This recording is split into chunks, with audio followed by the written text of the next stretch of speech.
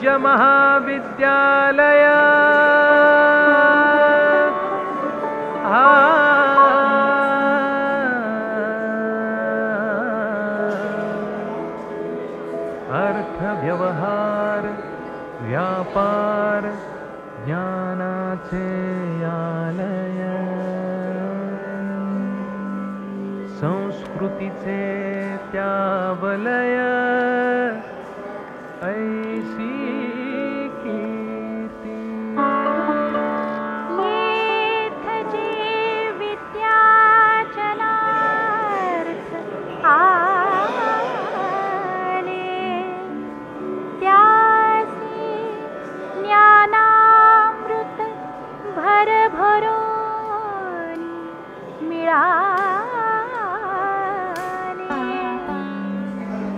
शरद पवारासम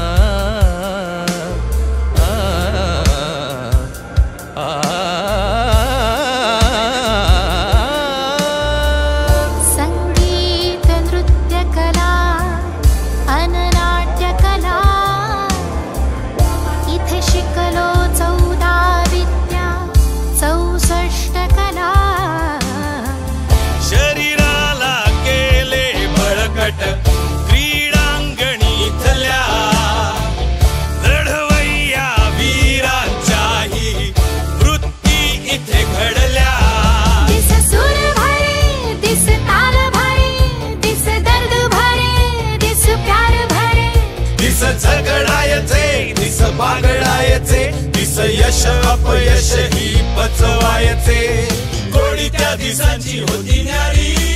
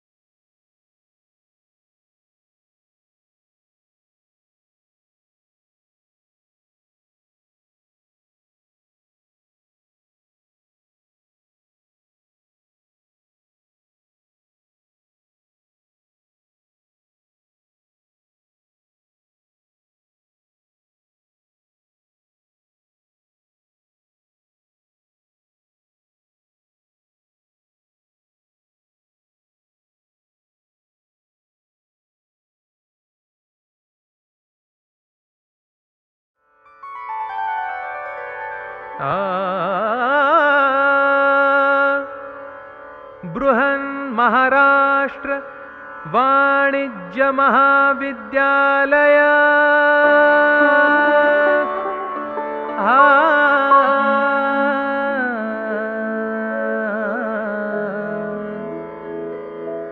अर्थव्यवहार व्यापार ज्ञानालय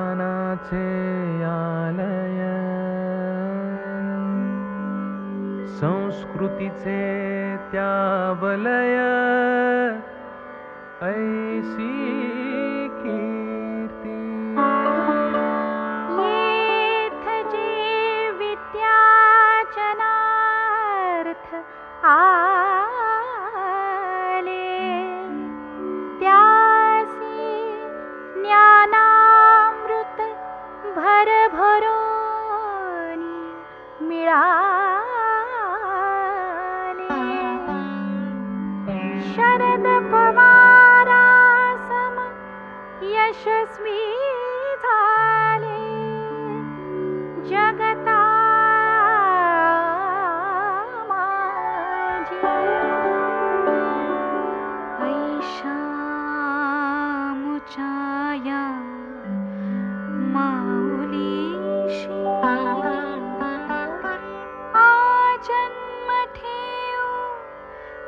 ज्ञा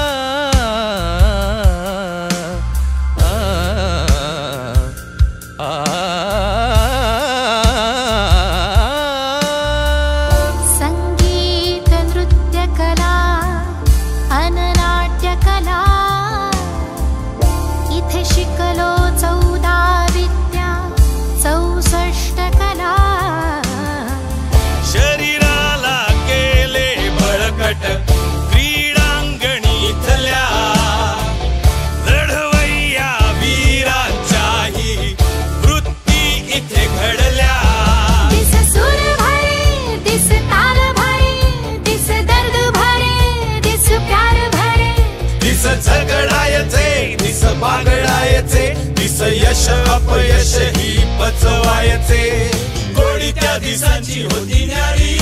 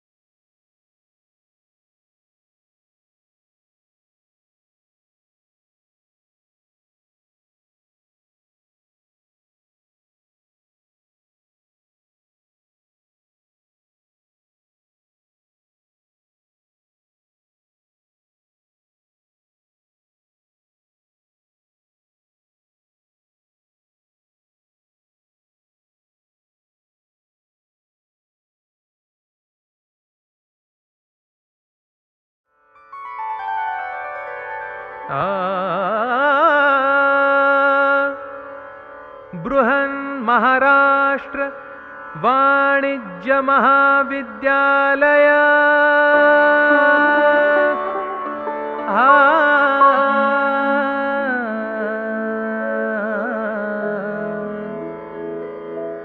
अर्थव्यवहार व्यापार ज्ञानालय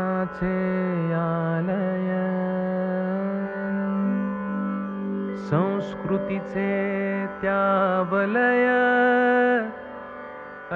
see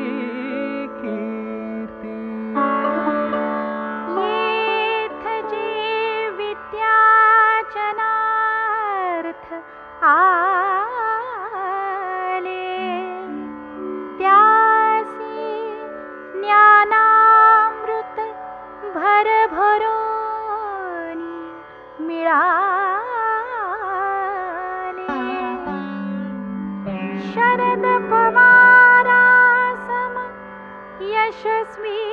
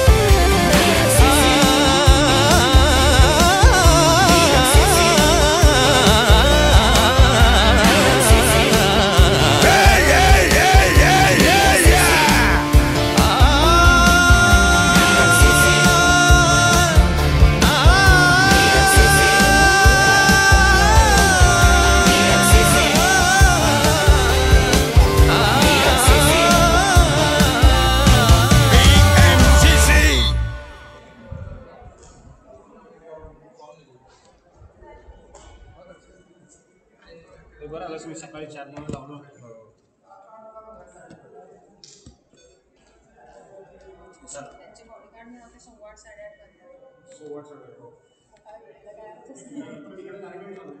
हां हां हो. पण निघालेत ना हो हो. ठीक आहे काही प्रॉब्लेम नाही. इथे चार्जिंग होऊ दे. एक अं, त्या याच्या पाच मिनिटं आधी मी तिकडे घेऊन हां हा.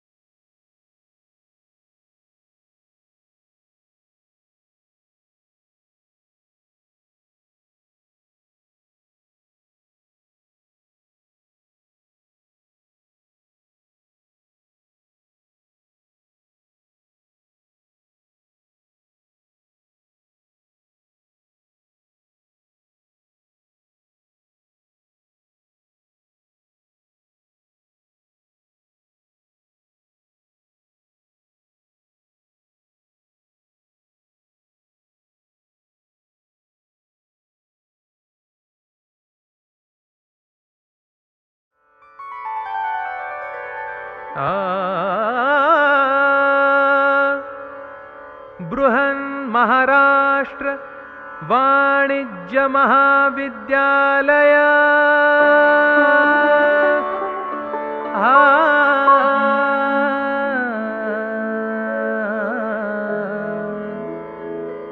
अर्थव्यवहार व्यापार ज्ञानाचे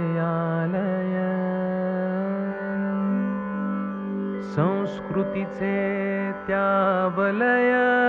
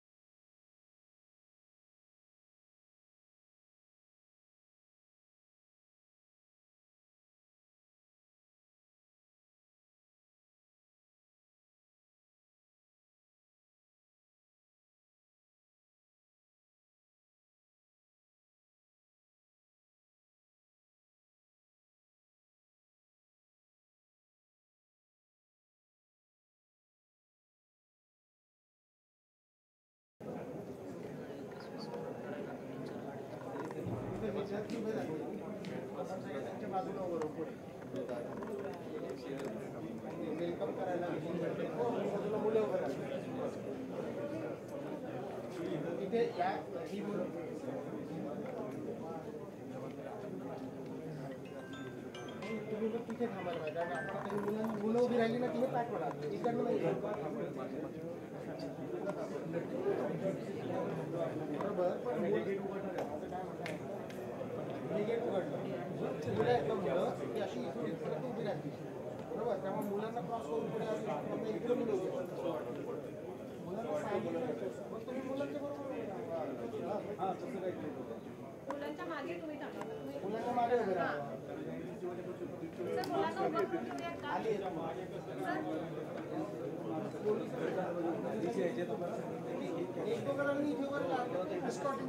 इथे मुलांना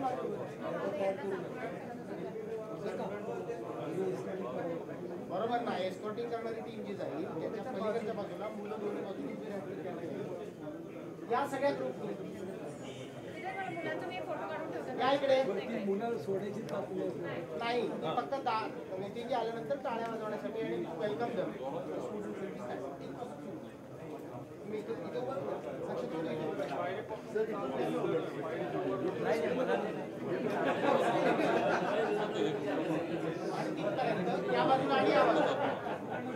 काही बोले या बाजूला हां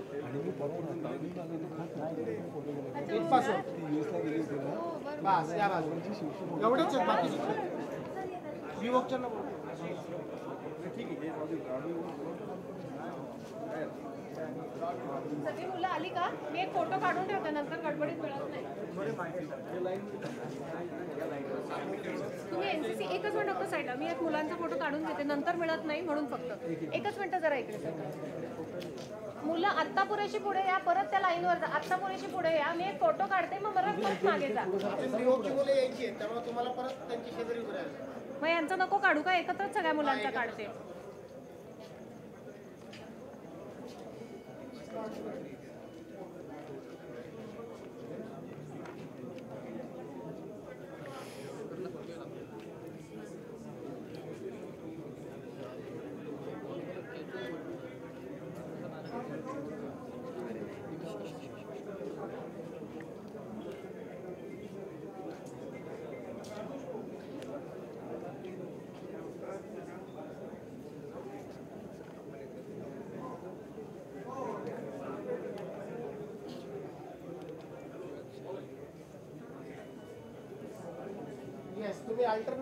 थोडं दाटी वाटीने उभं राहिला तरी चालेल. या बाजूला पण आणि या बाजूला. आले. आले वाटते हा आवाज आला. दोन लाईनी होत्या मी त्यांना सांगितलं का अमितला? तुम्ही घ्या कवर त्यांना सांगा कवर करायला. त्यांना कळलंच कारण की ऑन केलेलं आहे. ऑन ना? हा.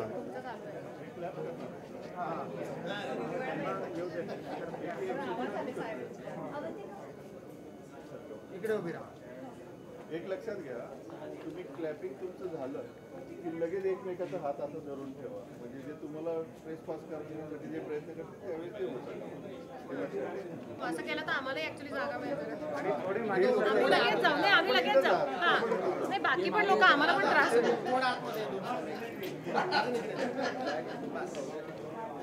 आपले तीन लोक आहेत एकदम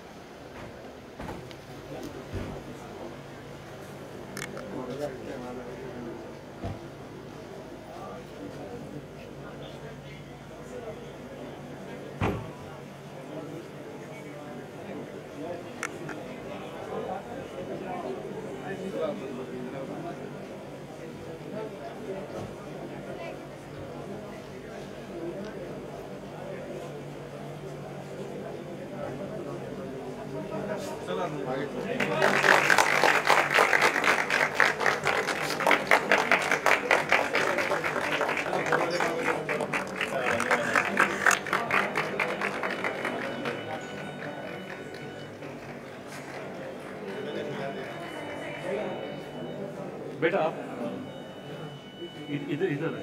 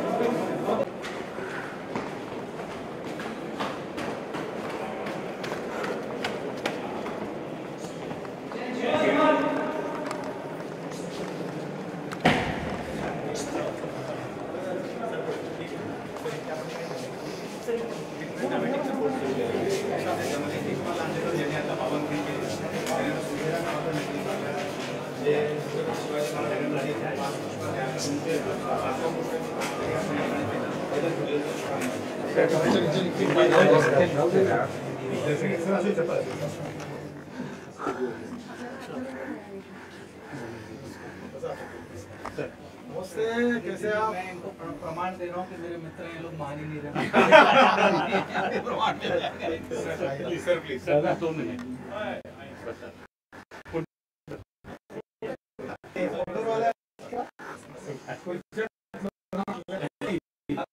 आचार्य सर दीपालजी हे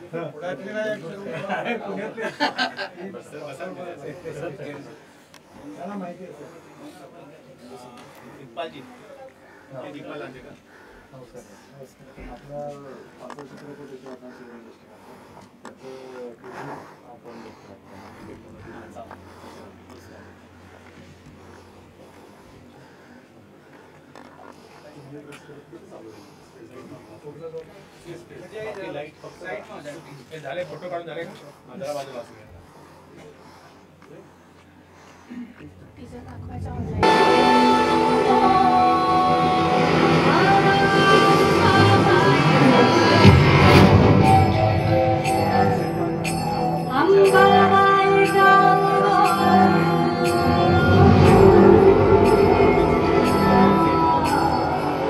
आपलं नाव नाही ठावे झालं. जी म्या मालुसरा तानाजी म्हणतात मला. घरची शेती आहे परमानात लय उमाळत का? तरवाट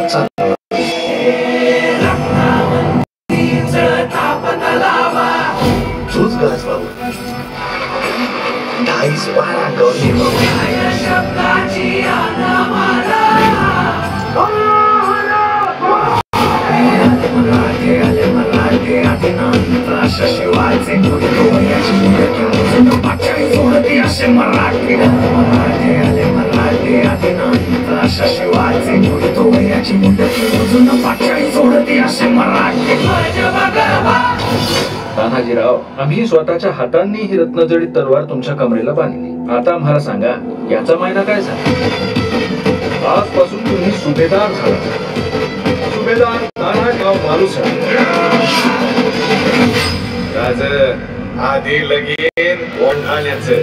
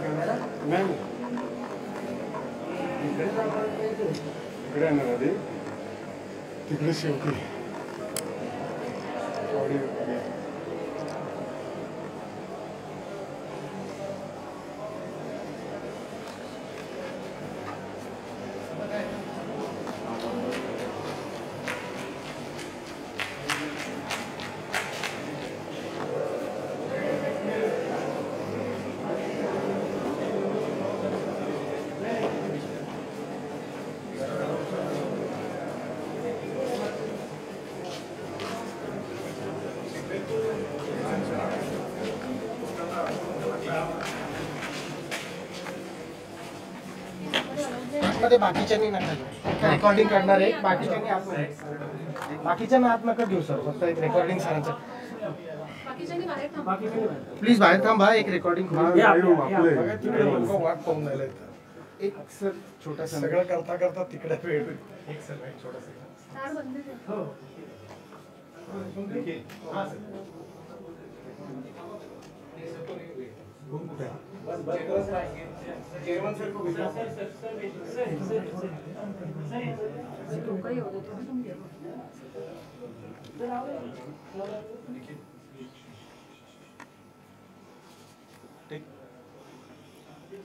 नमस्कार.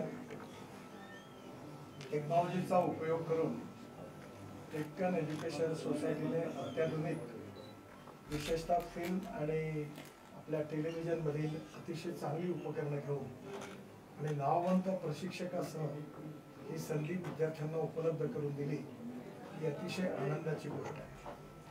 हा सगळा उपक्रम राबवत असताना राष्ट्राच्या हिताकरता राष्ट्रविचाराने प्रेरित होऊन पुन्हा एकदा राष्ट्रभक्तीची भावना आपल्या भविष्यातल्या पिढीत कशी निर्माण होईल याचं मिशन या सगळ्यांनी समोर ठेवलेलं आहे. अनेक कलाकार आणि याकरता काम करणारे प्राध्यापक शिक्षक आणि विशेषतः संस्थेच्या पदाधिकाऱ्यांना या उत्तम कार्याकरता मी मनापासून शुभेच्छा देतो. कारण कुठलीही गोष्ट इतिहासाची ही नवीन टेक्नॉलॉजी मांडण्यामध्ये आपण भविष्यातल्या पिढीला नक्कीच कन्व्हिन्स करू शकतो. तुमच्या या उपक्रमाला माझ्या खूप खूप शुभेच्छा धन्यवाद नमस्कार. धन्यवाद धन्यवाद आता खरी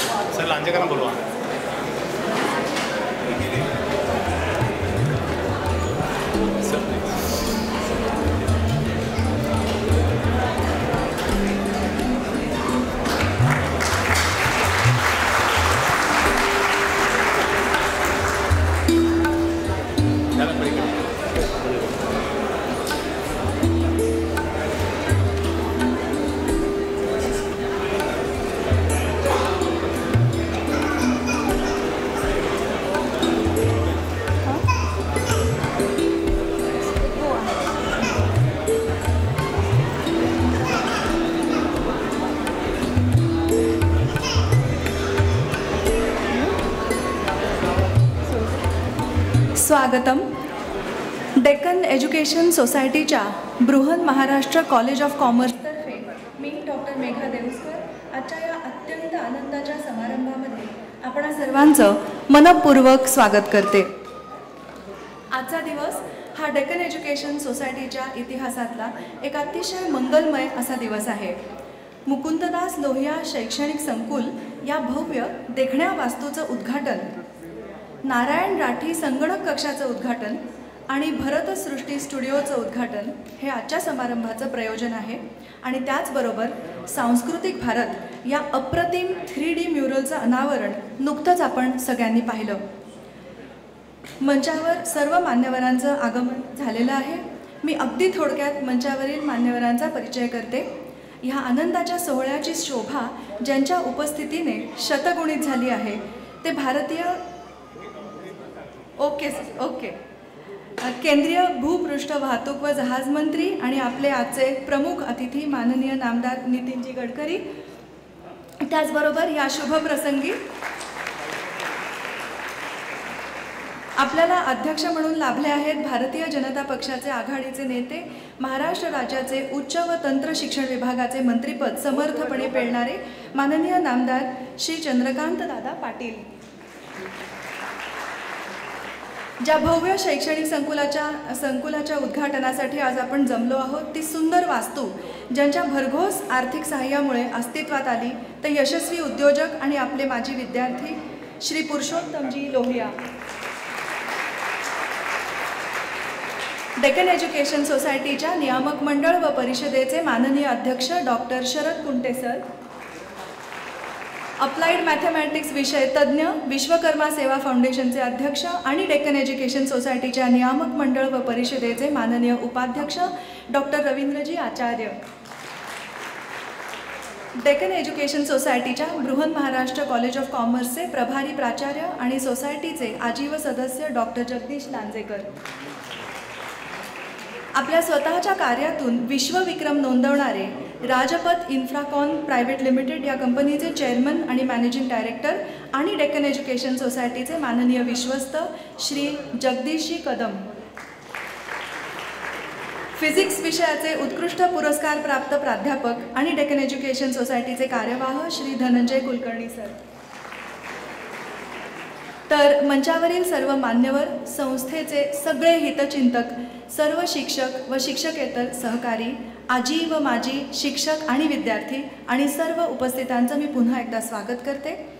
आपल्या संस्थेच्या नियामक मंडळ व परिषदेचे अध्यक्ष डॉक्टर शरद कुंटे आजच्या कार्यक्रमाचं प्रास्ताविक करणार आहेत. परंतु तत्पूर्वी या सोहळ्याचं औचित्य साधून मी सरांबद्दल दोन शब्द बोलते. रसायनशास्त्र हा सरांचा विषय आपल्या पस्तीसहून अधिक वर्षाच्या प्राध्यापनात सरांनी एक समाज मनाची जाणीव असलेला शिक्षक अशी ख्याती कमावली आहे. ते एक सिद्धहस्त लेखक आहेत संस्कार कथा कर्मयोगी डॉक्टर ए पी जे अब्दुल कलाम अशासारखी पन्नास पुस्तकं सरांनी लिहिलेली आहेत. त्यांची राष्ट्रीय विषयांवर दोन हजारहून जास्त व्याख्यानं दिलेली आहेत. राष्ट्रीय स्वयंसेवक संघाबरोबरच अनेक सामाजिक संस्थांचे विश्वस्त म्हणून सर काम करत आहेत आणि आता सर डेक्कन एज्युकेशन सोसायटीच्या नियामक मंडळ व परिषदेचे माननीय अध्यक्ष म्हणून कार्यरत आहेत. तर मी आता डॉक्टर शरद कुंटे सरांना विनंती करते की त्यांनी कार्यक्रमाचं प्रास्ताविक करावं. नमस्कार. मुख्य कार्यक्रम हा माननीय लोहिया यांच्या उदार देणगीमधून जी सुंदर इमारत बी एम सी सीला प्राप्त झालेली आहे की ज्याच्यामध्ये बी बी एचे आठ वेगवेगळे कोर्सेस नाट्य आणि चित्रपट विषयासंबंधीचं एक प्रशिक्षण केंद्र मोठं. या सगळ्याच्या इम त्या इमारतीमध्ये आपण करणार आहोत. त्याचं उद्घाटन माननीय नितीनजींच्या हस्ते झालं. त्याबद्दल मी प्रथम त्यांचे मनापासून आभार मानतो. आजचा भाषणाचा वेळ नाही. त्यामुळे आलेल्या प्रमुख अतिथींचा मनापासून मी स्वागत करतो. या कार्यक्रमाला उपस्थित राहिलेल्या सर्व श्रोतृवंदनाचे स्वागत आणि इथे आवर्जून वेळ दिल्याबद्दल सगळ्यांचे आभार मानतो. धन्यवाद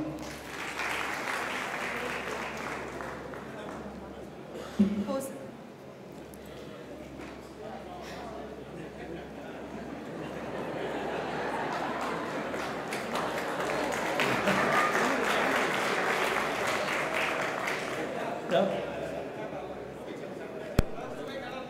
नाही आम्ही उतरताना करतो.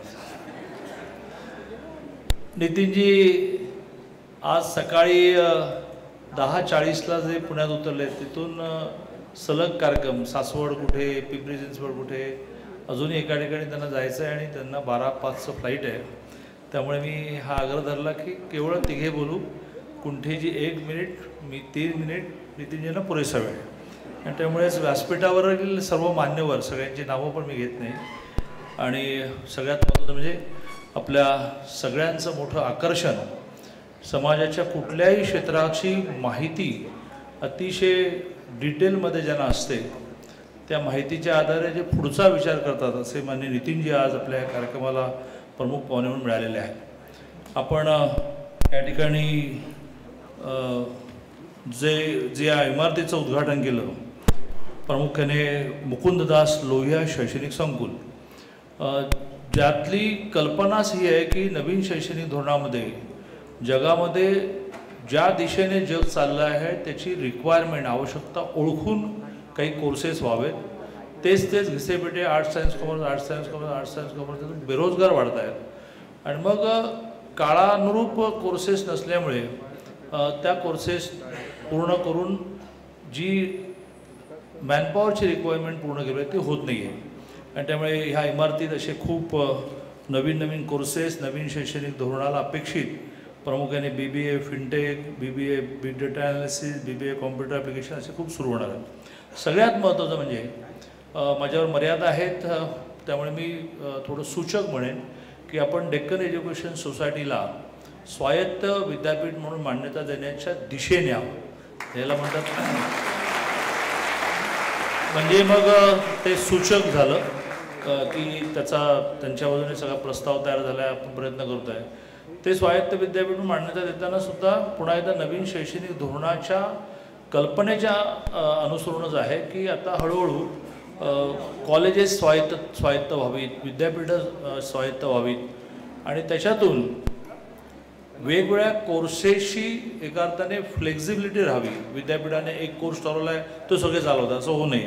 आणि त्यामुळे आगामी काळामध्ये ह्या स्वायत्त विद्यापीठाची सुद्धा खूप ज्याला म्हणतात पॉप्युलरिटी निर्माण व्हावी लोकप्रियता निर्माण व्हावी विद्यार्थी संख्या यावी आणि समाजाची गरज पूर्ण करणारं हे आगामी काळातलं विश्वविद्यालयसुद्धा व्हावं अशी अपेक्षा व्यक्त करतो. आणि पुन्हा ह्या कार्यक्रमाच्या संचालकांनी नितीनजींना बोलवण्यामध्ये वेळ घालू नये म्हणून मीच त्यांना असं म्हणतो की आता तुम्ही सगळ्यांना मार्गदर्शन करावं.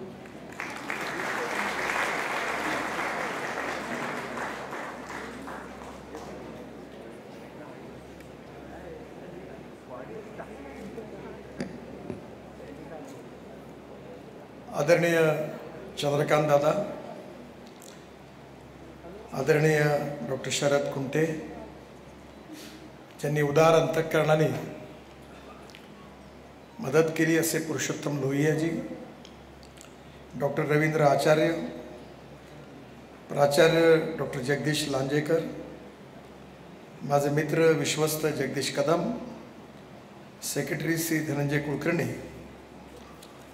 उपस्थित सर्व मान्यवर बांधवांनी आणि बहिणींनी. सर्वप्रथम कार्यक्रमाला उशीर झाला याबद्दल आपल्या सगळ्यांची हात जोडून मी क्षमा मागतो. फर्ग्युसन कॉलेजच्या संदर्भामध्ये भारतातच नव्हे तर याचं नाव जगात ते पोहोचलं एवढं उत्तम कार्य या कॉलेजमधून झालेलं आहे. सव्वाशे वर्षापूर्वी स्थापना झालेली ही शैक्षणिक संस्था ही काही व्यावसायिकदृष्ट्या कोणी चालवली नाही. पण शिक्षणाची गुणवत्ता वाढली पाहिजे. शिक्षणाचं सार्वत्रिकरण पण झालं पाहिजे. पण त्याचबरोबर शिक्षणाची गुणवत्ता असली पाहिजे. या आग्रहाने हा सगळा प्रवास झालेला आहे. मला जे कळलं त्याच्यामध्ये पन्नास हजार विद्यार्थी या संस्थेत शिकत आहेत. आणि या सगळ्यामध्ये स्वातंत्र्यवीर Savarkar P V Narasimharaoji V P Singhji जे दोन पंतप्रधान झाले तेही इथे शिकले. मला वाटते मी मध्ये काश्मीरला गेलो होतो. फारुख अब्दुल्ला मला भेटले होते. ते बहुतेक इकडे कुठेतरी शिकले होते. तेही सांगत होते. म्हणजे अनेक गायक कलाकार साहित्यिक कवी राजनेता समाजसुधारक क्रांतिकारक देशभक्त असं या संस्थेने देशाला दिलं आहे. आणि त्यामुळे नक्कीच सामाजिक परिवर्तनामध्ये आणि राष्ट्रीय पुनर्निर्माणामध्ये या संस्थेची संस्थेचं कॉन्ट्रीब्युशन खूप मोठं आहे. आपल्या सगळ्यांना माहिती आहे की आपल्याला भविष्यातलं जे शिक्षण आहे त्या शिक्षणाचं उद्दिष्ट काय असलं पाहिजे? शिक्षणाचं उद्दिष्ट एक आहे की आपला जो समाज हा याचे तीन महत्त्वाचे पिलर्स आहेत. एक आहे इथिक्स दुसरं आहे इकॉनॉमी आणि तिसरं आहे इकॉलॉजी अँड एन्व्हायरमेंट आणि देशात खऱ्या अर्थाने आपल्या समाजाला सस्टेनेबल करायचं असेल तर शिक्षण हे सगळ्यात जास्त आवश्यक आहे. कारण शिक्षणातून मिळणाऱ्या संस्काराच्या आधारावर आपण आपली इकॉनॉमी पण सदृढ करणार आहोत. आणि शिक्षणातून मिळणाऱ्या मूल्याधिष्ठित संस्कारामुळे आपलं राष्ट्र आणि समाज देखील प्रगल्भ आणि एक प्रकारे आदर्श समाज रचनेच्या बरोबर एक आदर्श राष्ट्र बनणार आहोत. आपण सगळेजण वारंवार या गोष्टीचा उल्लेख करतो की भारताला विश्वगुरू आपण विश्वगुरू बनण्याचं स्वप्न बाळगतो. आणि यामध्ये दोन गोष्टी महत्त्वाच्या आहेत. की ज्ञान विज्ञान तंत्रविज्ञान innovation entrepreneurship science technology research skilled आणि सक्सेसफुल प्रॅक्टिसेस याचा उल्लेख आपण नॉलेज म्हणून करतो. And knowledge as a power आणि म्हणून एकीकडे या सगळ्या गोष्टीचा उपयोग करून आपल्याला ज्ञानाचं रूपांतर हे वेल्थमध्ये संपत्तीत करायचं असेल तर ज्ञान आत्मसात केल्याशिवाय होणार नाही. दुसरी गोष्ट ज्ञान प्राप्त झाल्याशिवाय आपण भविष्यामधल्या अनेक गोष्टी सामाजिकदृष्ट्या शैक्षणिकदृष्ट्या अगदी हेल्थ असेल एज्युकेशन असेल स्पोर्ट्स असेल या सर्वांगीण क्षेत्रामध्ये याचा विस्तार केल्याशिवाय आपण प्रगती आणि विकास करू शकत नाही. आपल्याला ही देणगी मिळालेली आहे. की आपलं स्पिरिच्युअल सायन्स आणि विशेषतः आपलं योगविज्ञान आयुर्वेदासारखी अनेक शास्त्र आज संपूर्ण विश्वामध्ये चर्चेचा विषय झालेली आहे. आदरणीय प्रधानमंत्री नरेंद्र मोदींच्या प्रयत्नांनी युनोमध्ये योगा डे आपण साजरं करायचं ठरवलं. आणि आज आपल्या सगळ्यांना या गोष्टीचा आनंद होतो की जगामधले सगळे रेकॉर्ड योगा डेने आज पूर्णपणे आज ते पार केलेले आहेत हा आपला अभिमानाचा विषय. म्हणजे योगविज्ञान असेल आयुर्वेद असेल भारतीय संस्कृती इतिहास आणि विरासत असेल मूल्याधिष्ठित जीवन पद्धती असेल किंवा मूल्याधिष्ठित परिवार पद्धती असेल या सगळ्याचं आकर्षण जगामध्ये आहे. मला एक अतिशय चांगला अनुभव आला. की मी भारतीय जनता पार्टीचा अध्यक्ष असताना आमचं डेलिगेशन ब्रिटनमध्ये गेलो होतो. आणि मला ब्रिटनच्या पार्लमेंटमध्ये पण भाषण करण्याची संधी मिळाली. कार्यक्रम झाल्यानंतर मी प्रधानमंत्र्यांबरोबर विदेश मंत्री आणि प्रधानमंत्र्यांबरोबर चहा पिण्याकरता त्यांच्या ऑफिसला गेलो होतो. त्यावेळी मला प्रधानमंत्र्यांनी प्रश्न विचारला की तुमच्या देशातली सगळ्यात मोठी समस्या कोणती आहे? तर मी त्यांना सांगितलं आमची पॉप्युलेशन खूप जास्त आहे. त्यामुळे गरिबी भूकमरी आणि बेरोजगारी ही आमची मोठी समस्या आहे. मग मी त्यांना लगेच उलटा प्रश्न विचारला की तुमच्या देशातली सगळ्यात मोठी समस्या कोणती आहे? थोडं थांबले आणि त्यांनी मला असं सांगितलं की आमच्या पूर पूर्ण युरोपियन कंट्रीजमध्ये समस्या ही आहे की आमच्या मुलं मुली आजकाल लग्नच करत नाहीत. ते लिव्हिंग रिलेशनशिपमध्ये राहतात. आणि त्यामुळे भविष्यात आमची समाजव्यवस्था कशी होईल यामुळे आम्ही चिंतित आहोत. हे त्यांचं ऐकल्यावर मी त्यांना असं विचारलं की मग या सगळ्या समस्येला तुम्ही सोडवण्याकरता काय प्रयत्न करता? ते मला म्हणाले याचं बरोबर उत्तर माझ्याजवळ नाही आहे तर विदेश मंत्र्यांनी मला प्रश्न विचारला की तुमचा देश गरीब आहे मग तुमच्या देशात ही समस्या नाही आहे का? मी लगेच त्यांना उत्तर दिलं की नाहीच्या बरोबर आहे. तर ते म्हणाले हे कसं शक्य आहे? तर मी त्यांना एवढंच सांगितलं की आमचा देश गरीब आहे पण आमच्या देशातल्या गरीब समाजातल्या प्रत्येक व्यक्तीवर मूल्याधिष्ठित जीवन पद्धती आणि परिवार पद्धतीचे संस्कार आहेत. आणि शिक्षणाच्या माध्यमातून संतांच्या माध्यमातून प्रबोधन प्रशिक्षण आणि संस्कार.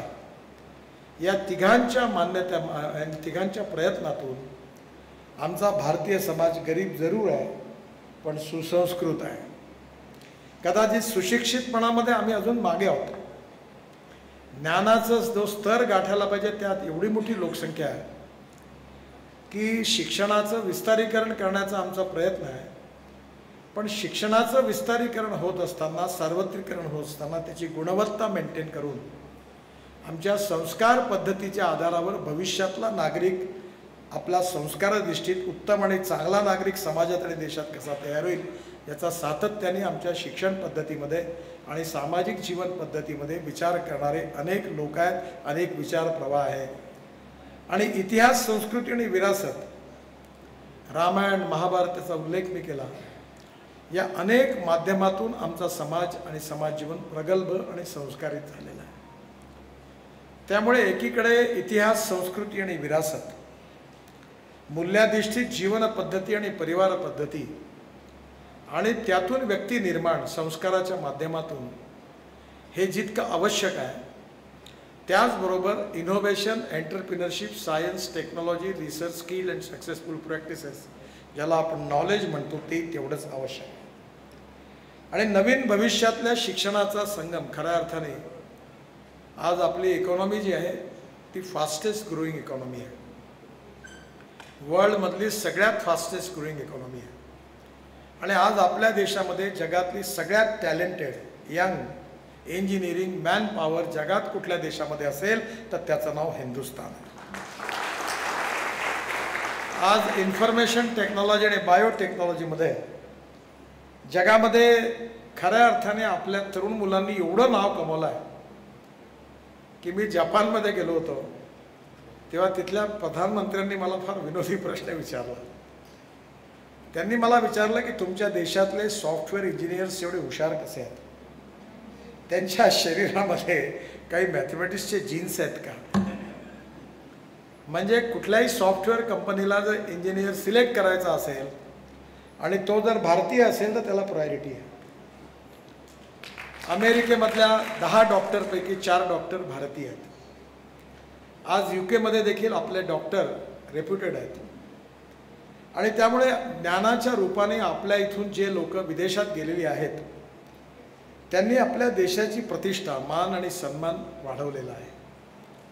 पण त्याचं खरं कारण काही असेल तर या सगळ्यांच्या जीवनामध्ये त्यांच्या शालेय जीवनामध्ये आणि विशेषतः महाविद्यालयीन जीवनामध्ये त्यांना ज्या प्रकारचं शिक्षण उपलब्ध झालं ज्या प्रकारचे शिक्षक उपलब्ध झाले ज्या प्रकारचं ज्ञान मिळालं आणि ज्या प्रकारचे संस्कार मिळाले त्यातून जे परिपूर्ण बनले त्या सगळ्यांचं पुढे प्रेझेंटेशन किंवा त्यांचं एक कार्य हे जगाच्या कानाकोपऱ्यात जाऊन जे रिकग्नाईज झालं याचं श्रेय भारतातल्या शिक्षण संस्थांना शिक्षकांना आणि प्राध्यापकांना आणि परिवाराला आहे की त्यांनी त्यांना घडवलं. असं म्हटलं जातं की no one is perfect and no one can claim that he is perfect उत्तम अधिक उत्तम सर्वोत्तम up to infinity you cannot catch your own image आणि म्हणून मला नेहमी असं वाटतं कदाचित मी चूक आहे की बरोबर मला माहिती नाही पण गुणवत्तेवर कोणाचं पेटेंट नाही आहे आणि चांगलं बनण्याचा सगळ्यात सोपा मार्ग म्हणजे कोणता असेल? की आपल्या रोजच्या व्यक्तिगत सामाजिक जीवनामध्ये जी छोटी छोटी माणसं आपल्याला भेटतात त्यांची जी गुणं आपल्याला लक्षात येतात जेव्हा आपण इम्प्रेस होतो ते गुण आपल्या आपल्या व्यक्तिमत्वात आणण्याचा प्रयत्न करणं हाच मोठं बनण्याचा सगळ्यात सोपा मार्ग आहे. मी गमतीने एकदा दिल्लीत जाताना असं दिल्लीत बऱ्याच वर्षात मी दिल्लीतच राहतो त्यामुळे मला दिल्ली पुष्कळ माहीत झाली. मी गमतीने म्हणायचो की ज्यांना मी खूप मोठं समजत होतो त्यांच्या जवळ गेल्यानंतर लक्षात आलं की जेवढं मोठं समजत होतो तेवढी ती मोठी नाही ती खूप लहान आहे. आणि दुरून मी ज्यांना खूप लहान समजत होतो त्यांच्या जवळ गेल्यानंतर अनुभवातून हे लक्षात आलं की ते तेवढी लहान नाही ती खूप मोठी आहेत. मी भारतीय जनता पार्टीचं काम करत होतो. मुंडेसाहेब गृहमंत्री होते. आमच्या इथल्या हिंगणा तहसीलीमध्ये त्या ह्याच्यामध्ये एक ट्रायबल कम्युनिटीमधले नाव नाही घेत जातीचं. ते सगळेजण चोऱ्या करायचे धंदे करायचे हातबट्ट्या चालवायचे. आणि मग त्याच्यावर पोलिसांनी कारवाई केली. मग कारवाई केल्यावर खूप आंदोलन झालं त्याचे महाराष्ट्रात प्रतिसाद उमटले. त्या ठिकाणी मुंडे साहेब आले आम्ही सगळे त्यांना भेटलो त्यांच्या प्रश्नांचा अभ्यास केला. मी त्यांना म्हटलं की हा प्रॉब्लेम असा आहे की याच्यात शिक्षणाचा अभाव आहे. पण यात त्यांचा दोष नाही आहे आर्थिक परिस्थिती त्यांना अनुकूल नाही आहे शिक्षणाचा अभाव आहे आणि त्यामुळे हे घडतं आहे आणि म्हणून जर आपण काही प्रयत्न करून प्रकल्प सुरू झाले तर त्यामध्ये नक्कीच आपण यांचं जीवन बदलवू शकतो. आपल्या इथे पुण्याजवळ आपले आमचे विद्यार्थीपाशी एक जुने कार्यकर्ते आहेत. त्यांनी पण त्या समाजाकरता काम केलं. आम्ही पण नंतर त्या ठिकाणी काही प्रकल्प आणले. आणि त्यातून एक रेखाताई पवार नावाची महिला ती मिळाली जी हातभट्टी दारू चालवायची त्यावेळी तिला पक्षात आणलं ती काम करायला लागली. आणि एका निवडणुकीत मीच इन्चार्ज होतो. आणि मी तिला जिल्हा परिषदेचं तिकीट कधी असं होत नाही माझ्या हातून. पण मला वाटलं हिच्याशिवाय कोण उमेदवार मी तिला सांगितलं की रेखा ती तुम्हाला जिल्हा परिषद लढवायची आहे. उद्या मला भेटा दोन गाड्या लावा आणि कामाला सुरुवात करा. मी तुम्हाला दहा हजार रुपये देऊन ठेवतो आणि प्रचार करा. तुम्ही जिंकल्या पाहिजे. आणि ज्यावेळी त्यांना मी हे सांगितलं त्या कामाला लागल्या. आणि जेव्हा तिकीट देण्याची वेळ आली तेव्हा सगळे कार्यकर्ते आणि पार्लमेंटरी बोर्ड असं मला म्हणालं की इथे या जातीचे लोक खूपच कमी आहेत. या बाई चांगल्या आहेत पण तिकीट दिलं तर आपण जिंकू नाही शकत. मी जर आग्रह धरला असता तर सगळ्यांनी मान्य केलं असतं. पण सामूहिक सगळ्यांचा निर्णय एका दिशेने आणि मी एकटा एक दिशेने बघितल्याबरोबर मी म्हटलं ठीक आहे माझ्याकडनं चूक झाली पण तुम्ही सगळे म्हणून ठरवाल तसं आपण करू. आणि मला खूप अस्वस्थ वाटलं की आपण कबूल केलं आणि आता यांचं तिकीट कटणार आहे. मग त्यांना घरी बोलवलं. आणि म्हटलं रेखा ते एक गडबड झाली. काय झालं भाऊ? म्हणे. म्हटलं तुमचं तिकीट जरा देण्याचे दुसऱ्याला देण्याचा विचार सुरू आहे. एवढं वाक्य पूर्ण आहे त्या बाईंनी म्हटलं त्याच्यात काय म्हणे पार्टी ज्याला तिकीट देईल त्याचं मी काम करीन म्हणे झालं. तिने पर्स उघडली. सहा हजार सातशे रुपये काढले एवढे उरले आहेत म्हणे हे पैसे घ्या आणि मी जो उमेदवार पार्टीचा राहील त्याचं मी काम करीन. मला कळलंच नाही. कारण मी छोट्या कार्यकर्त्यापासून काम आमच्यात एक छोटू भैया दाकरस म्हणून संघाचे उत्तम स्वयंसेवक होते भाजपचं काम करायचे. आणि आम्ही महानगरपालिकेत किंवा अनेक वर्षाचा मला अनुभव आहे की तिकीट मिळालं नाही तर त्याच्या घरी समजावला गेल्यावर किती शिव्या शराब देतात. आणि देणारे सामान्य नाही मोठे मोठे लोक. त्याचा मी खूप अनुभव घेतला. एक फार मोठे कार्यकर्ते होते त्यांनी आम्हाला घराच्या पायरीहून खाली उतरवलं माझ्या घरात न्यायचं. तरी आम्ही निर्लज्जासारखे उभं राहिलो. म्हणजे तिकीट मिळालं नाही तर लोक रडतात कसं करतात असं मी अनेक मोठ्या लोकांचे छोट्या सामान्य मोठ्या लोकांचे अनुभव घेतले. आणि मग माझ्या मनात आलं की ही रेखाते पवार ही दारूची भट्टी चालवणारी ही इतकं चांगलं वागते. म्हणजे खऱ्या अर्थाने तिकीट मिळालं नाही तर कसं वागावं हे शिकवणारं याच्या इतकं आदर्श उदाहरणच नाही. मग त्यांना मी विचारलं तर तिने सांगितलं की ती रोज पूजा करते. आणि रामायण वाचते. म्हणजे कुठेतरी प्रत्येकाच्या जीवनामध्ये गरिबीमध्ये आणि यामध्ये पण कुठेतरी एक संस्कार आहे. आणि त्यामुळे चांगुलपणा आणि गुणवत्तेचा संबंध जो आहे ह्याचं कोणाकडे पेटंट नाही आहे आणि आपल्या विचार परिवारामध्ये आपलं हे कमिटमेंट आहे कन्व्हिक्शन आहे की माणूस हा जातीने मोठा नाही माणूस हा गुणाने मोठा आहे.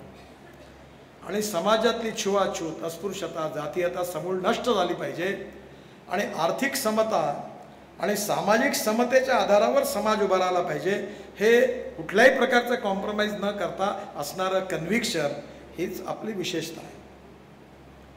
मला मी पण इलेक्शन लढतो आता लोकसभा लढतो मागच्या वेळी तीन लाखाने आलो. माझ्याही मनात विचार आला आमच्याकडे इलेक्शन मॅनेजमेंट ते इलेक्शन मॅनेजमेंट म्हणजे काय होतं ते तुम्हाला सांगण्यासारखं नाही. मी यावेळी ठरवलं मी एकदा नागपूरला आमच्याकडे मोठा ताजबाग म्हणून. तिथे खूप सुंदर बांधला देवेंद्रजींनी पैसे दिले. मी पण मदत केली. त्यांचा ट्रस्टी बोर्ड होतं. आणि मी तिथे कार्यक्रमाला गेलो. आणि कार्यक्रमाला गेल्यानंतर जवळपास दहा एक हजार मुस्लिम समाज लोक एवढं अत्तर माझ्या अंगावर टाकलं. एवढे गुलाबाचे फुलं उधळले की भाषणाला मी उभा राहिलो. मी म्हटलं आज तुम्ही एवढे गुलाल उधळून राहिले आहात गुलाबाची फुलं एवढी कदाचित एवढी क्विंटलनी किती? पाच सात क्विंटल असतील. म्हटलं इलेक्शनच्या दिवशी कुठे पळाले होते तुम्ही? थपथक्क झाले की इतका डायरेक्ट प्रश्न कोणी विचारेल असं त्यांना वाटलं नाही. आणि मग मी त्यांना विचारलं की तुम्ही काळजी करू नका. मी ज्या संस्थेत शिकलो किंवा ज्या ठिकाणी मला संस्कार मिळाले तिथे हे मिळालेले की जो मला मत देईल त्याचंही मी काम करीन आणि जो मला मत देणार नाही त्याचंही काम करीन. त्यामुळे तुम्ही हे लक्षात ठेवा की मी नव्याण्णव टक्के नाही एकशे एक टक्के प्युअर चड्डीवाला आहे. पुन्हा मत दिल्यावर पस्तावू नका. द्यायचं असेल तर द्या नाही दिलं तरी चालेल. पण तुमचं काम मी करेन. आणि कोविडच्या काळामध्ये असेच प्रसंग आले. आणि त्यातून इतक्या गोष्टी घडल्या की आता ते सगळेजण आहेत ते मला नंतर मुल्ला मौलवी बसून म्हणाले सात बात करणार. तुम्ही म्हटलं क्या करणार आहे? बोले, इस बार गलती हो गई। बोले, हमने आपको पहचाना है, हमको पता है आर एस एस वाले हैं। अगले बार एक ही काम करना बोले, ये पूरे पोलिंग सेंटर जितने, उसकी पेटी गिनना बोले। और अगर इसमें आपको 50 टक्के से ज़्यादा वोट नहीं मिले तो तुम्हारा जूता और हमारा सर। बोले, आपको पक्का बताते ये बार गलती हुई खरं म्हणजे जात, पंथ, धर्म, भाषा, आणि सेक्स याला डिस्क्रिमिनेट करणारी कुठली फिलॉसॉफी आपल्याला मान्य नाही, याचं कारण आपले संस्कार प्रगल्भ आहेत. आणि शिक्षणाच्या माध्यमातून हे सगळे संस्कार दिले गेले. राष्ट्रवादाचा संस्कार असेल स्वदेशी स्वावलंबनाचा संस्कार असेल या सगळ्या गोष्टी आल्या. पण त्याला आज मला आनंद झाला की त्याला जोड नॉलेजची फ्युचरिस्टिक टेक्नॉलॉजीची मिळाली. कारण नवीन भविष्यातला भारत निर्माण करायचा असेल तर ज्ञान आवश्यकच आहे. मूल्य जीवनमूल्य आवश्यक आहे. संस्कार आवश्यक आहे. आदर्श माणूस बनवणं आवश्यक आहे. पण विवेकानंदांनी हेही सांगून ठेवलं आहे की no philosophy can be taught to empty stomach आणि आपल्यामध्ये ती क्षमता आहे. मी ट्रान्सपोर्टचा मंत्री आहे माझ्याकडे ॲटोमोबाईल इंडस्ट्री आहे. आणि मी पाच वर्षापूर्वी ठरवलं की ही industry seven point five lakh करोडची आहे. साडेचार करोड लोकांना यांनी जॉब दिलेला आहे. भारतामध्ये राज्य सरकार आणि भारत सरकारला सगळ्यात जास्त जी एस टी देणारी इंडस्ट्री आहे. टॅक्स देणारी. एक्सपोर्ट सगळ्यात जास्त आहे. आणि मी सगळ्यांना बोलवलं एक दिवस. सगळे टाटापासून सगळे बोलवलं. त्यांना म्हटलं माझी इच्छा आहे. की जगातले सगळे ब्रँड आता आपल्याकडे उपस्थित आहेत. तुम्हाला काय फॅसिलिटी पाहिजे ते सांगा पण आमची इच्छा आहे की आत्मनिर्भर भारत बनवायचा आहे. भारताला सुपर इकॉनॉमिक पॉवर बनवायचं आहे. विश्वगुरू बनवायचं आहे. पण हे तेव्हाच शक्य आहे की तुमचा साईज डबल होईल. पंधरा लाख करोडची इंडस्ट्री होईल तेव्हाच होईल. आणि मला सांगताना आनंद होतो आहे की जगामध्ये पहिल्या नंबरवर चायना दुसऱ्या नंबरवर अमेरिका तिसऱ्या नंबरवर जपान आणि चौथ्या नंबरवर भारत होता. पण दोन महिन्याच्या पूर्वी आपण जपानला मागे टाकलं आणि तिसऱ्या नंबरवर आलो. आणि आता मला विश्वास आहे की आपण पाच वर्षात पहिल्या नंबरवर जाऊ. सगळ्या जगातले ब्रँड आपल्याकडे आहेत. आणि आता सगळ्यामध्ये संशोधन आहे. म्हणजे मी जेव्हा म्हणायचो electric scooter electric car electric bus इथेनॉलवर आता गाड्या चालतील फ्लेक्स इंजिनवर खूप प्रचार करायचो. मग पत्रकार मला विचारायचे मग रस्त्यात गाडी सुरू झाली चार्ज संपला तर मग कसं होईल? मग गाडीला धक्का मारायचा का? आता कोणी नाही विचारलं पाच वर्षात भारतातल्या सगळ्या बसेस इलेक्ट्रिकवर चालतील. आता तर मी इलेक्ट्रिक केबलवरच्या तीन बसेस जोडलेली बस दिल्ली ते जयपूर सुरू करण्याच्या प्रयत्नात आहे.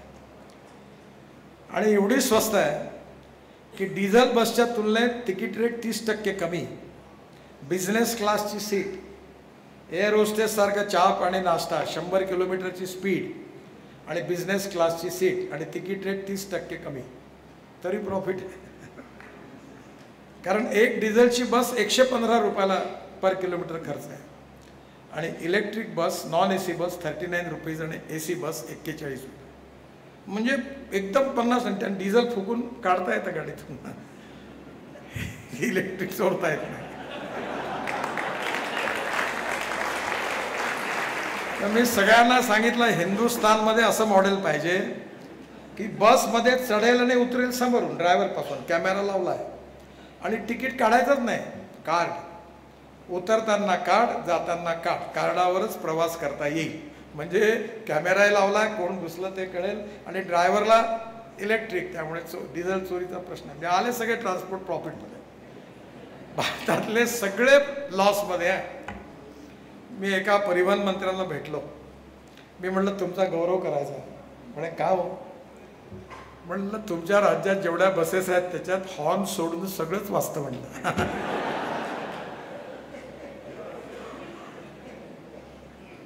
म्हणजे टेक्नॉलॉजी जी आहे ती आपलं जीवन सुसह्य करणार आहे.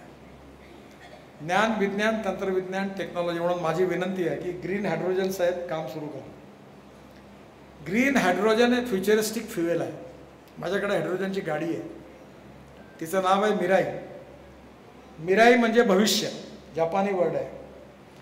आणि भविष्य म्हणजे हा ग्रीन हायड्रोजन ग्रीन हायड्रोजन. आणि हायड्रोजन खूप स्वस्त आहे. खूप प्रयोग सुरू आहे. आता टाटाने आणि लेलँडनी आय सी इंजिनमध्ये हायड्रोजन टाकून गाडी चालवता येईल.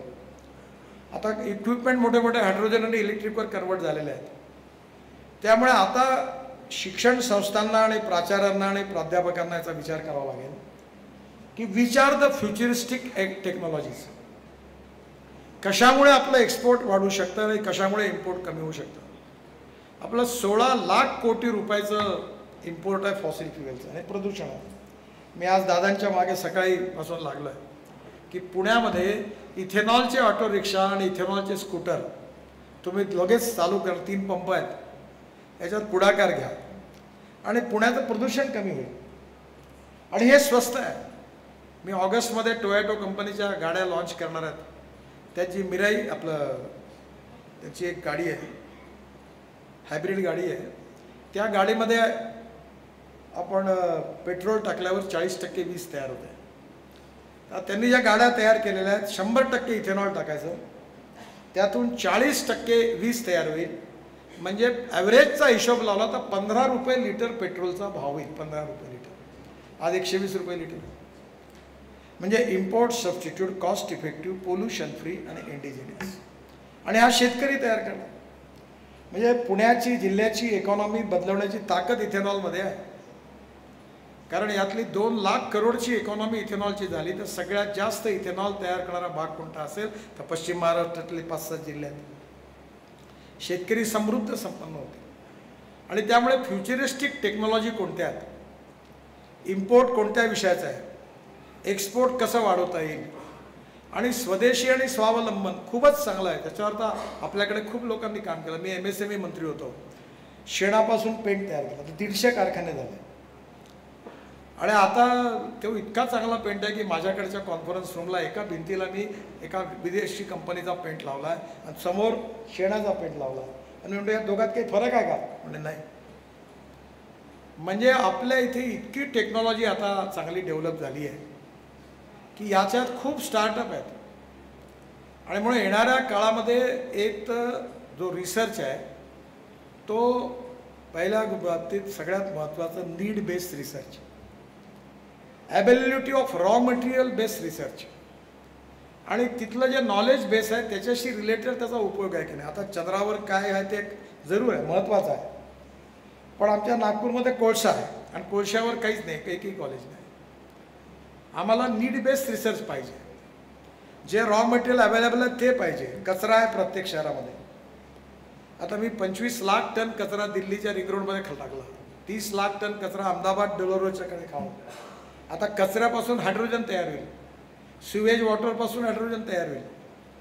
तेव्हा माझी आपल्याला एकच विनंती आहे की एक कुठेतरी इंडस्ट्रीशी कोऑर्डिनेट करून भविष्यामध्ये ज्यांनी एक्सपोर्ट वाढणार आहे आणि इम्पोर्ट करणार आहे त्या भविष्यातल्या फ्युचरिस्टिक टेक्नॉलॉजी ज्या आहेत त्या आपल्या महाविद्यालयातून मुलांना कशा शिकवता येतील याचा प्राधान्याने जर विचार केला तर भविष्यामधल्या इकॉनॉमिक ग्रोथमध्ये त्या खूप महत्त्वाच्या आहेत. तुम्ही आज टेलिव्हिजन आणि फिल्मच्या इन्स्टिट्यूटमधल्या अनेक चांगल्या इक्विपमेंटचा हे केलं. मला वाटतं मी इमर्जन्सीमध्ये आम्ही कार्यक्रम करायचो. तेव्हा आता आमची पोस्ट तशीच होती मावशी केळकरांचं भाषण. तर मी आपलं टेंडर काढलं सगळ्यात स्वस्त लाऊडस्पीकर कोणता? ते एकाने शंभर रुपये कोट केले एकाने ऐंशी केले एक पंचवीस रुपयेवाला मिळाला. मी खुश झालो. का आपले पैसे वाचले. आणि तो लाऊडस्पीकर लावला. त्यांचं भाषण खराब झालं कार्यक्रम खराब झाला.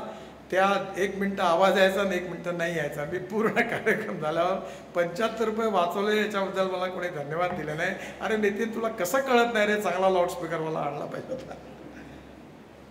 म्हणून शॉर्टकट मारणं शॉर्टकट कट यू शॉर्ट त्यामुळे आपल्याला येणाऱ्या काळामध्ये याचा planning in advance planning in detail with the futuristic technology आणि आपल्याकडची जी काही स्ट्रेंथ आहे त्याच्या आधारावर आपण येतो पुण्यामध्ये खरंच चांगलं वातावरण कारण फिल्म इन्स्टिट्यूट इथे होतंच. आणि पुण्यामध्ये आता मुंबईजवळच आहे. मी जेव्हा एक्सप्रेस हायवे बांधला त्यावेळी मी म्हणायचो की पुणे ते मुंबई दोन तासात होईल. आणि लोक पुण्यात राहतील आणि मुंबईत नोकरीला येतील मुंबईत राहतील पुण्यात व्यवसाय करायला जातील. ते एका नामांकित पेपरने एक एडिटोरियल लिहिलं आणि त्यांनी माझ्यावर खूप टीका केली. हे काही बोलतात म्हणे हे कधी शक्य आहे का?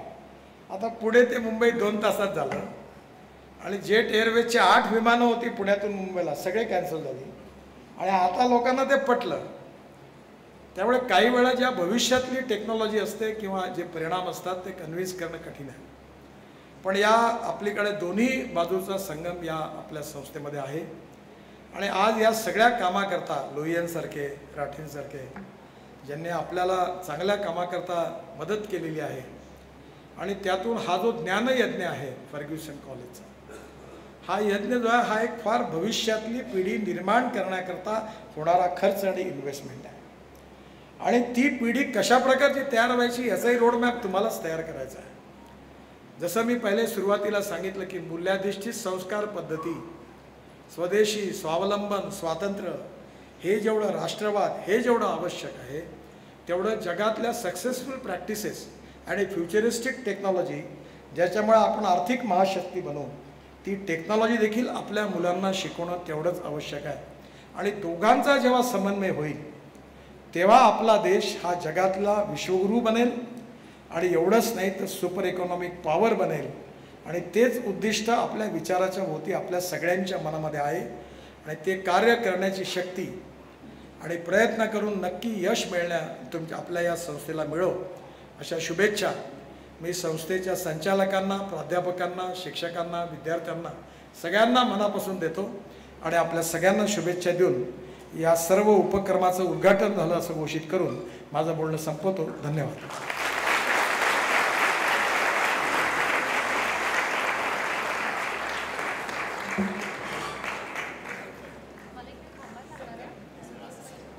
धन्यवाद नितीन दादा. आपण मला असं वाटतं आपण सगळेच जण खूप टच झालो आहे नितीनजींच्या भाषणामुळे आणि research base need based research असायला हवा आहे आणि केवळ सुशिक्षित नागरिक नाही तयार करायचे तर सुसंस्कारित नागरिकही तयार करायचे आहेत. असं त्यांनी जे आपल्याला सांगितलं ते शिरसा वंदे आम्ही मानतो. नितीनजी थँक्यू सो मच तर समाजातल्या प्रत्येक व्यक्तीसाठी तळमळ असलेला असा हा नेता. राष्ट्राच्या विकासासाठी लागणारी विलक्षण दूरदृष्टी ध्यास धडाडी अशा अनेक गुणांनी परिप्लुत असं हे व्यक्तिमत्व आज देशाला लाभलं याचा आम्हाला सार्थ अभिमान आहे आणि आनंदही आहे. आणि आजच्या या शुभप्रसंगी आपण प्रमुख अतिथी म्हणून उपस्थित राहिलात. याबद्दल हे आमचं भाग्य आम्ही समजतो. तर मी आता संस्थेच्या नियामक मंडळ व परिषदेचे अध्यक्ष डॉक्टर शरद कुंटे सर यांना विनंती करते की त्यांनी माननीय श्री नितीनजी गडकरी यांचा सत्कार करावा.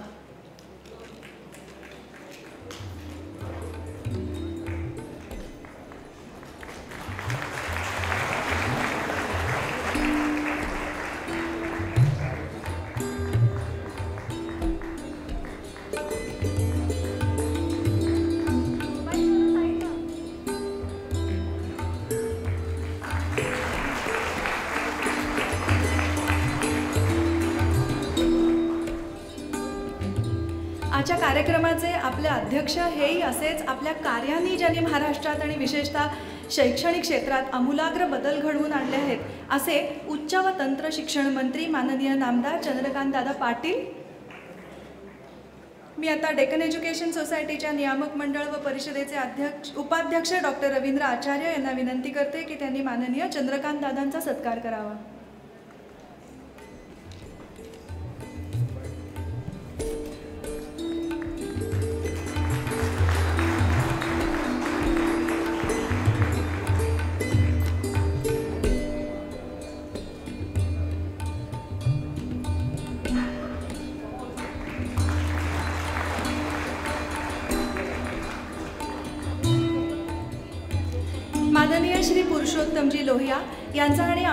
जनतेचा स्नेह हा खूप जुना आहे. Lohia sir B M C सीचे एकोणीसशे एक्क्याऐंशी सालचे विद्यार्थी आहेत आणि ते एक अत्यंत यशस्वी उद्योजक आहेत. मुकुंद भवन ट्रस्टचे ते मॅनेजिंग ट्रस्टी आहेत आणि शिवाय पुना हॉस्पिटलच्या राजस्थानी अँड गुजराती चॅरिटेबल ट्रस्टचे ते जॉईंट मॅनेजिंग ट्रस्टी आहेत. डेक्कन एज्युकेशन सोसायटीच्या बी एम सी सी कॉलेजलाच नव्हे तर D E S school Matrumandir यासाठी सुद्धा त्यांनी खूप मोठं अर्थसहाय्य केलेलं आहे. मागच्या वर्षी pride of B M C C हा पुरस्कार देऊन आपण सरांना सन्मानित केलं होतं. आणि आज मुकुंददास लोहिया शिक्षण संकुलासाठी त्यांनी जे काही योगदान दिलं आहे त्यासाठी आपण त्यांचा सत्कार करणार आहोत. तर मी आता आपले प्रमुख अतिथी माननीय नामदार नितीनजी गडकरी यांना विनंती करते की त्यांनी श्री पुरुषोत्तमजी लोहिया यांचा सत्कार करावा.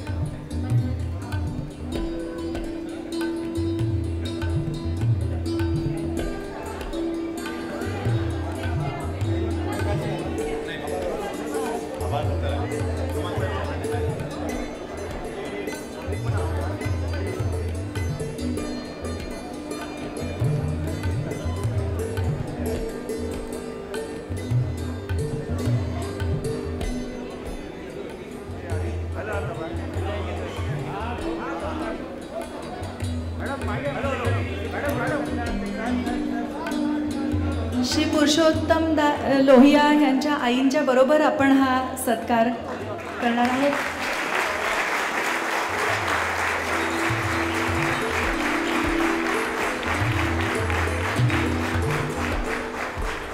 त्यानंतर श्री नारायणदास राठी हे बी एम सी सीचे माजी विद्यार्थी आणि न्यूयॉर्कमधून त्यांनी एम बी ए केलेलं आहे.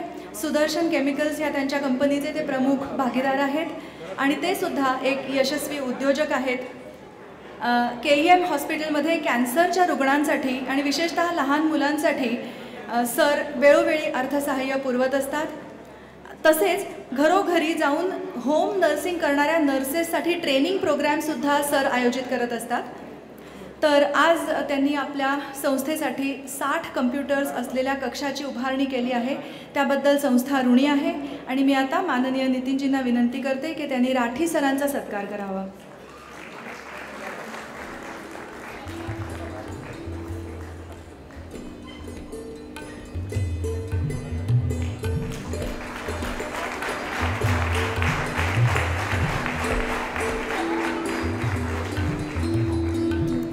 भरतसृष्टीच्या निर् निर्माण करण्यासाठी जे श्री दिग्पाल लांजेकर यांनी आपल्याला अर्थसहाय्य केलं आहे त्यांचाही आपण गौरव करणार आहोत.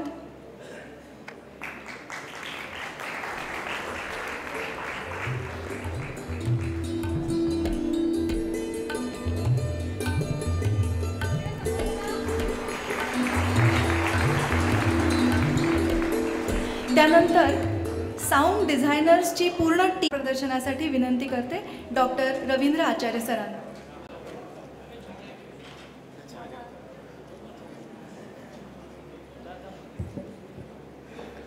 नमस्कार. सन्माननीय व्यासपीठ आदरणीय अतिथी माझे सहकारी आणि बंधू भगिनींनो मला नितीनजींनी सांगितलं एका वाक्यात आपण आभार दर्शन करा. माझी एवढी मोठी लिस्ट आहे परंतु मी खरंच एका वाक्यात संपवणारे कारण सरांना जायचं आहे. आज एवढा मोठा कार्यक्रम आपला या ठिकाणी यशस्वी पद्धतीने करण्यासाठी डेक्कर एज्युकेशन सोसायटीच्या ह्या प्रांगणामध्ये आपला श्री पुरुषोत्तमजी लोहिया यांनी जे संस्थेला दिलेल्या देणगीतून जे भव्य मुकुंददास लोहिया शैक्षणिक संकुल उभारलेले आहे या संकुलाच्या उद्घाटन सोहळ्यासाठी निर्माण आणि विकास ज्यांच्या नावाशी जोडले गेले आहेत असे भारत सरकारच्या कॅबिनेटमधील सर्वांचे लाडके नेते माननीय नितीनजी गडकरी आजच्या या उद्घाटन सोहळ्याला उपस्थित राहिले. त्यांच्या उपस्थितीने या संकुलाच्या उभारणीचा जो संकल्प डेक्कन एज्युकेशन सेंटरने केलेला होता त्याला पूर्णत्व प्राप्त झालेले आहे. मी संस्थेच्या वतीने आपल्याप्रती त्रिवार आभार व्यक्त करतो. आपल्या डेक्कन एज्युकेशन सोसायटीच्या आपल्याच घरातले आपले सर्वांचे दादा श्रीयुज चंद्रकांत दादा पाटील यांचा मी मनापासून आभार व्यक्त करतो. ह्या सगळ्या देणाऱ्याचे आपल्याला सगळ्यांना माहिती आहे की विंदाकरीकरांची कविता जी आहे देणाऱ्याचे देणाऱ्याने देत जावे घेणाऱ्याने घेत जावे घेता घेता एक दिवस देणाऱ्याने हात घ्यावेत. असं विंदाकरीकरांचं जे अतिशय महत्त्वाचं आणि आजरामार ओळीतला जो आशय आहे त्याला अनुसरून स्वतःचे जीवन जगणारे ज्यांच्या दातृत्वामुळे अनेकांचे कर्तृत्व घडले आहे घडणार आहे असे थोर उद्योजक ज्यांचे ऋण आणि दातृत्व आमच्यासाठी कायम प्रेरणा देत राहील असे श्री परशुद्धमजी पुरुषोत्तमजी लोहिया व त्यांचे कुटुंबीय यांचे संस्थेच्या वतीने मनपूर्वक आभार. या शैक्षणिक संकुलातील संगणकाशी संबंधित शिक्षण देण्यासाठी संगणक उपलब्ध करून देणारे प्रसिद्ध उद्योजक श्रीयुत नारायणदासजी राठी व त्यांचे कुटुंब यांचेही मनापासून आभार. या संकुलनात विद्यादानाचे पार पड का कार्य पार पडणार आहे. त्याच्यामध्ये फिल्म अँड ड्रामॅटिक हा जो विषय आहे याच्यासाठी आमचे चालक पालक मार्गदर्शक दूरदर्शनवरील चाणक्य या आजारामर पा मालिकेचे दिग्दर्शक निर्माते आणि स्वतः चाणक्याची भूमिका बजावणारे पद्मश्री डॉक्टर श्री चंद्रप्रकाशजी द्विवेदी आज मुंबईहून खास उपस्थित राहिलेले आहेत. त्यांचंही या संस्थेच्या वतीने मी आभार मानतो. डेक्कन एज्युकेशन सोसायटीच्या भरतसृष्टीमध्ये दिग्पाल लांजेकर निखिल लांजेकर या सर्वांनी अतिशय मोलाची जबाबदारी केलेली आहे. त्यांचे आभार मानतो. आपल्या सुजय भडकमकर आपल्या या सुरेख वास्तूचे आर्किटेक्ट कॉन्ट्रॅक्टर नंतर स्ट्रक्चरल इंजिनियर यांचे पण आभार मानतो. सर्वात महत्त्वाचं जे आहे की आपल्या पुरुषोत्तमजींचे रमेशजी जे रांद रांदड आहेत हे रांदड आपल्या पुरुषोत्तमजीचे व्याही आहेत. त्यांच्यामुळे हा आजचा कार्यक्रम झाला. त्यांचेही आभार मानतो. आपल्या सर्व या ठिकाणी संस्थेवर प्रेम असलेले सर्व आपले सर्व या ठिकाणी आपण आलात. त्याबद्दल मी सर्वांचे मनपूर्वक आभार मानतो आणि संस्थेप्रती आपले प्रेम असेच द्विगुणित राहावे अशी इच्छा व्यक्त करून थांबतो. धन्यवाद. नाही त्यांचं.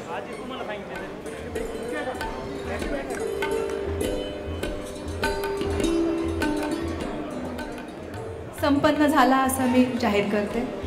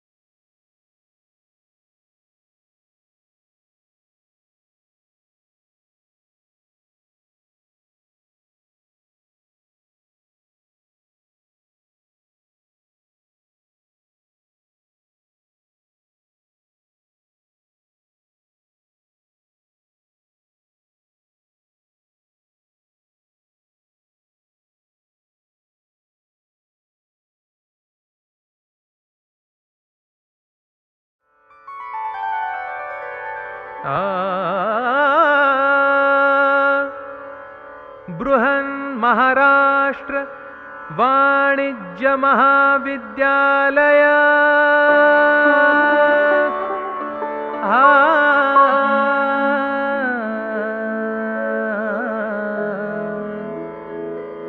अर्थव्यवहार व्यापार ज्ञानाचे आलय संस्कृतीचे त्यावलय